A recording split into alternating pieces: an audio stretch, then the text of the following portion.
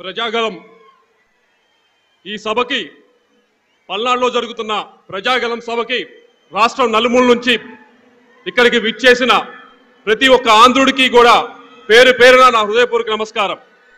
వేదిక పైన ఉన్న పెద్దలందరికీ మరీ ముఖ్యంగా మూడోసారి ప్రధానమంత్రి కాబోతున్న నరేంద్ర మోడీ గారికి తెలుగుదేశం పార్టీ అధ్యక్షులు చంద్రబాబు నాయుడు గారికి బజాబా బీజేపీ అధ్యక్షులు పురంధేశ్వరి గారికి పవన్ కళ్యాణ్ గారికి వేదిక పైన ఉన్న ప్రతి ఒక్కరికి కూడా పేరు పేరు నా హృదయపూర్వక నమస్కారం.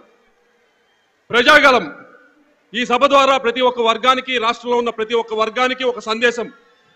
రైతులకు రాష్ట్రంలో ఉన్న ప్రతి ఒక్క రైతుకి కూడా ఈ సంవత్సరం నుంచి ఇరవై వేల రూపాయలు ప్రభుత్వం వైపు నుంచి ఇవ్వబోతా ఉన్నాం ఇన్పుట్ సబ్సిడీ కింద.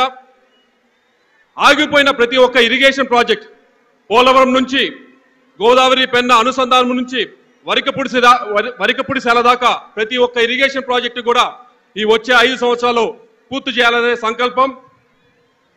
ప్రజాగలం ద్వారా ప్రతి ఒక్క మహిళకి ఆంధ్రాలో ఉన్న ప్రతి ఒక్క మహిళకి కూడా కుటుంబాన్ని నడపడానికి కష్టపడుతున్న ప్రతి ఒక్క మహిళకి కూడా చెప్దాం. ఉచితంగా మూడు సిలిండర్లు ప్రతి సంవత్సరం కూడా ఇవ్వబోతున్నాం. ఆంధ్రాలో ఉన్న ప్రతి ఒక్క యువతకి కూడా చెప్దాం. వారి కళలకు రెక్కలు తొడుగుదాం. వారికి ఆంధ్ర యువతకి ఆంధ్రాలోనే ఉపాధి కల్పన చేద్దాం. ఆంధ్రాలో ఉన్న ప్రతి ఒక్క బీసీకి కూడా బీసీ సోదర సోదరి కూడా యాభై సంవత్సరాలు దాటిన వెంటనే నాలుగు వేల రూపాయల పెన్షన్ ఇచ్చే కార్యక్రమం చేపడదాం. ప్రతి ఒక్క దళిత సోదరుల సోదరునికి కూడా ఏదైతే ఈ ఐదు సంవత్సరాల్లో ఆగిపోయిన ఇరవై ఏడు సంక్షేమ కార్యక్రమాలు ఉన్నాయో ప్రతి ఒక్క కార్యక్రమాన్ని కూడా మళ్ళీ పు- పునరుద్ధరిద్దాం. వారందరి బతుకుల్లో కూడా వెలుగులు నింపుదాం.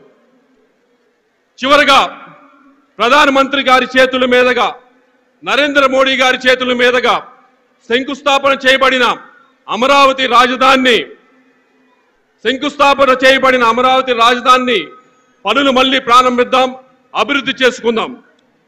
చివరిగా చెప్పేది ఒకటే అప్పుల ఆంధ్రప్రదేశ్ నుంచి సువర్ణ ఆంధ్రప్రదేశ్గా ఈ రోజు ఈ పల్నాడులో జరుగుతున్న ప్రజాగలం ద్వారా ప్రతి ఒక్క ఆంధ్రుడికి చెబుదాం ఈ కూటమిని బలపరచండి సువర్ణ ఆంధ్రప్రదేశ్ నిర్మించుకుందామని చెప్పి ప్రతి ఒక్క ఆంధ్రుడికి చెప్తూ నాకు ఈ అవకాశం ప్రసాదించిన ప్రతి ఒక్కరికి కూడా ధన్యవాదాలు చేసుకుని సెలవు తీసుకుంటా ఉన్నా.